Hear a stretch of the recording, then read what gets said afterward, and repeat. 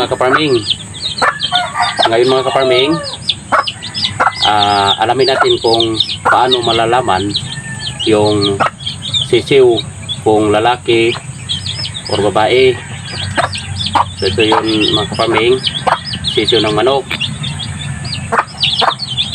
Let's go!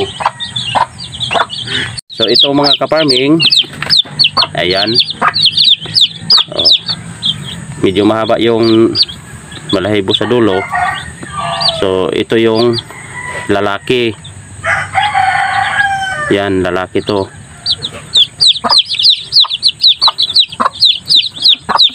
Tapos ito Oh, ayan.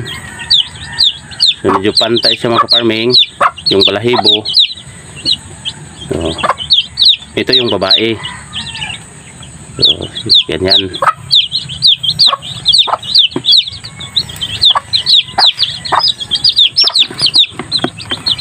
So, ayan, babae.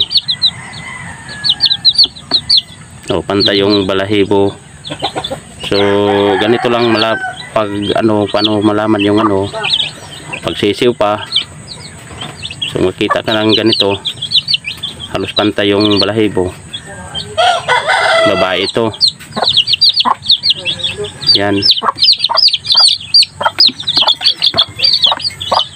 Ito. Oh, lalaki to mga kaparming. Yan mahaba yung parang may balahibo na siya na mahaba hindi pantay yun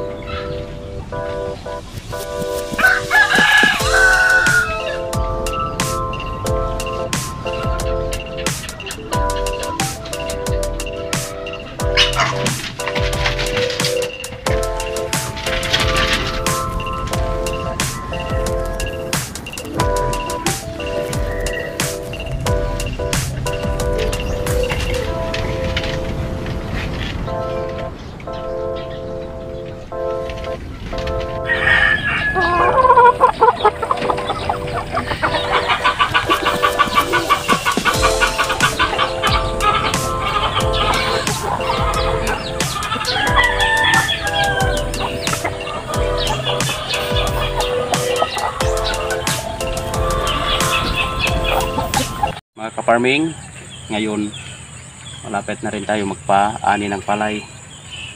So yun. So hinog na mga ka-farming. Yan.